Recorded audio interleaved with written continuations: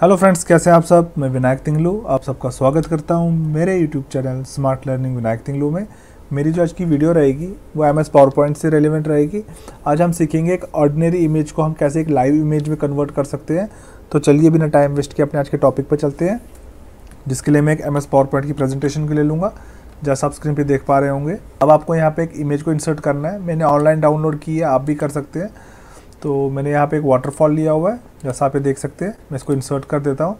पर आप देख पा रहे होंगे कि ये प्रॉपर तरीके से स्लाइड पे एडजस्ट नहीं है, जैसा आप स्क्रीन पे देख पा रहे होंगे, यहाँ से स्पेस रह रही है। तो इसके लिए हम इसको क्रॉप करेंगे। जिसके लिए मैं इस क्रॉप पे क्लिक करूँगा डाउन एरो पे, यहाँ पे एस्पेक्ट रेशियो का एक ऑप्शन मिल जाता है। यहाँ पे आपको चूज़ करना है सिक्सटी को। इसको लेने के बाद आप अपने हिसाब से ड्रैग करके अपनी इमेज को जितना सेट करना चाहता कर सकते हैं। जब आप सेटिस्फाई हो जाएँगे। हाँ इतनी ही इमेज मुझे क्रॉप करनी है। बाहर कहीं पे भी क्लिक कर दीजिएगा स्लाइड पे। आपकी इमेज आपको मिल जाएगी। सिंपली टॉप पे ले जाइएगा और फिर यहाँ से इसको ड्रैग करते हुए पूरे स्लाइड पे सेट कर दीजिएगा। जैसा आप स्क्रीन पे देख पा रहे होंगे। अब हमारा नेक्स्ट स्टेप रहेगा कि मैं इसकी एक स्लाइड की डुप्लीकेट स्लाइड बना लूँ, जिसके लिए मैं इसी स्लाइड पे अपने माउस के प्राइमरी बटन से क्लिक करूँगा। यहाँ पे मुझे ऑप्शन मिल जाता है डुप्लीकेट स्लाइड का।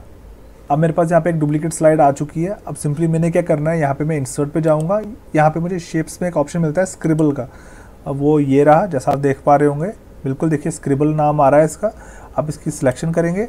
अब हम उतने एरिया को इससे कवर करेंगे जितना एरिया हमें चाहिए। या आप कह सकते हैं मार्क करेंगे इतने एरिया को जितना हमें चाहिए। स्क्रिबल को सिलेक्ट करने के बाद हम एक एरिया को कवर करेंगे, जिसके लिए मैं सिंपली इस वाटरफॉल को मार्क करूँगा ऑल अराउंड मुझे पूरा एरिया चाहिए इसका। और इन दोनों लाइन्स को यहाँ जोड़ दूँगा। कुछ इस तरीके से, जैसा आप स्क्रीन पे देख पा रहे होंगे। सिंपली अपने माउस के लेफ़्ट बटन को छोड़ दीजिएगा। आपको एक एरिया ऐसा मिल जाएगा।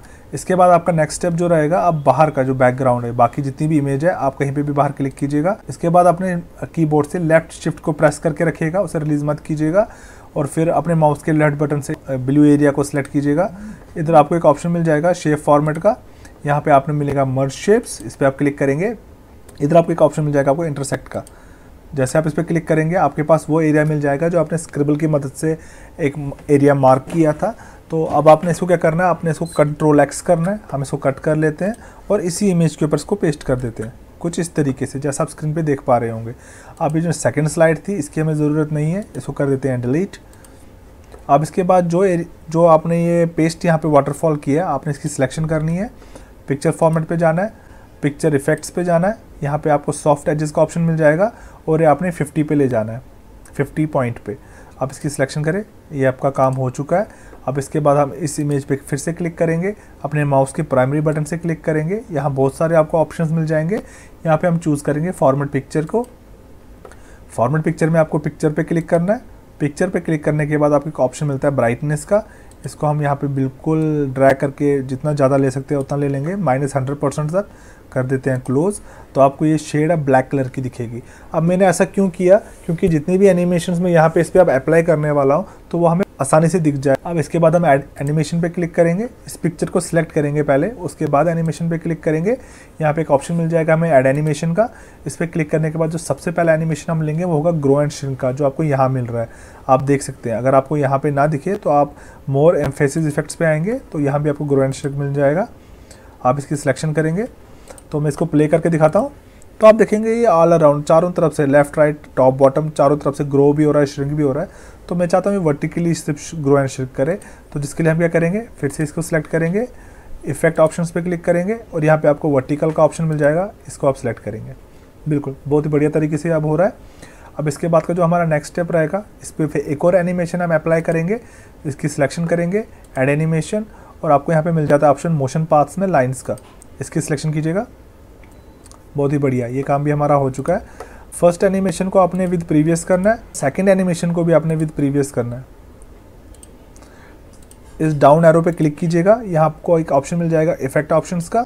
इस पर सिलेक्शन करने के बाद आपने स्मूथ स्मूथ स्टार्ट और स्मूथ एंड को ज़ीरो सेकंड पे ले जाना है, कुछ इस तरीके से, और कर दीजिएगा ओके ये काम अब हमारा हो चुका है। अब एक एनिमेशन हम और देंगे, वो रहेगा फेड का। फिर से इस इमेज को सिलेक्ट कीजिएगा एड एनिमेशन पे क्लिक कीजिएगा, ये आपको यहाँ फेड मिल जाएगा। इसकी सिलेक्शन कीजिएगा। ये अब हमारा काम हो चुका है, इसको भी कर देते हैं start with previous that's it अब हम क्या करेंगे, इसी इमेज को जिसकी हमने ब्राइटनेस पहले चेंज की थी, उसको फिर से अपनी इनिशियल स्टेज पे ले जाएँगे, जिसके लिए मैं फिर पिक्चर पे आऊँगा। ब्राइटनेस को मैं यहाँ पे माइनस हंड्रेड को ज़ीरो कर देता हूँ। एंड इसको कर देता हूँ क्लोज कुछ इस तरीके से। अब मेरे सामने ये एनिमेशंस लग चुकी हैं और मेरी इमेज भी प्रॉपर उसी तरीके से आ चुकी है जैसे इन द बिगिनिंग थी। अब मैं इसकी सिलेक्शन करने के बाद कंट्रोल डी को प्रेस करूँगा। One two three four five six seven eight nine ten मैंने टेन टाइम इसका कॉपी कर लिया इसको। आप चाहे तो थर्टी फोर्टी फिफ्टी जितनी चाहे उतनी कर सकते हैं। जितनी ज़्यादा आप लेंगे, उतना ही ज़्यादा आपका वाटरफॉल वर्क करेगा। तो मैं इतना ही लूँगा। अब मैं कंट्रोल ए को करूँगा। सो दैट मैं इनकी पूरी की सिलेक्शन कर सकूँ। कंट्रोल की को प्रेस करते हुए इस पूरी बैकग्राउंड पे एक पर क्लिक करूँगा, क्योंकि मैं सिर्फ़ इनको लेना चाहता था, इस इमेज को नहीं लेना चाहता हूँ। इसके बाद आपको पिक्चर फॉर्मेट पे आना है। पिक्चर फॉर्मेट में आपको अलाइनमेंट मिलेगा। यहाँ पर अलाइनमेंट पर आप कर देंगे अलाइन सेंटर कुछ इस तरीके से, और फिर करेंगे अलाइन मिडल और उसके बाद रहेगा अलाइन टॉप जैसा कि आप स्क्रीन पे देख पा रहे होंगे। अब इसके बाद का जो हमारा नेक्स्ट स्टेप होगा, वो क्या रहेगा? अब मैं हर एक जो मैंने टेन टाइम इसको कॉपी पेस्ट किया था कंट्रोल डी की मदद से, अब उसको हमने इफ़ेक्ट्स में कुछ डिले देना और ड्यूरेशन देनी है, जिसके लिए मैं फिर से इन्हीं एनिमेशन को सिलेक्ट करूँगा और नीचे बॉटम से शुरू करते हैं। ये तीन एनिमेशन को मैं सिलेक्ट करता हूँ, कुछ इस तरीके से। और एनिमेशन पे जाने के बाद एनिमेशन पेन पे क्लिक करूँगा। यहाँ पे आपको एक ऑप्शन मिल जाता है डिले एंड ड्यूरेशन का। एनिमेशन पेन पे आने के बाद आपको डिले एंड ड्यूरेशन का ऑप्शन मिल जाएगा। तो डिले में मैं इसको दे देता हूँ 50 सेकंड्स का। 50 सेकेंड्स का, जैसा आप देख पा रहे हैं। फिर इन तीन की सिलेक्शन करूँगा। अब यहाँ पे वन का दे देता हूँ। एंटर उसके बाद 150 का। उसके बाद टू का। उसके बाद 250 का। उसके बाद थ्री का। उसके बाद 3.5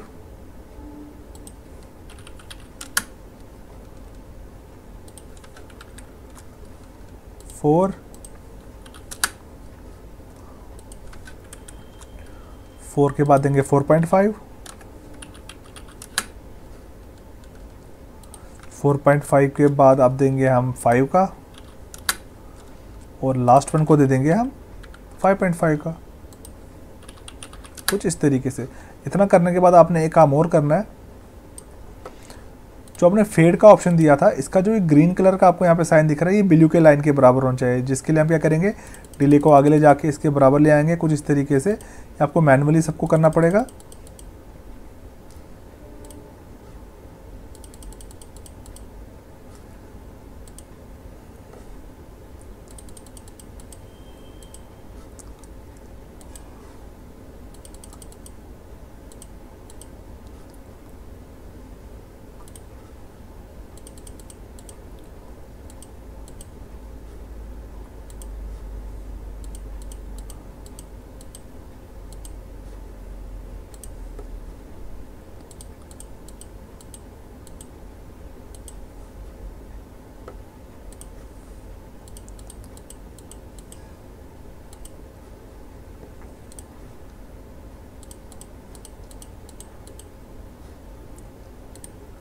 जैसा कि आप देख सकते हैं, मैंने ये कंप्लीट कर लिया है। ये मेरा लास्ट वन है। इतना करने के बाद आप सिंपली F5 को प्रेस कीजिएगा और लेट इट चेक कि ये क्या प्रॉपर वर्क करता है कि नहीं।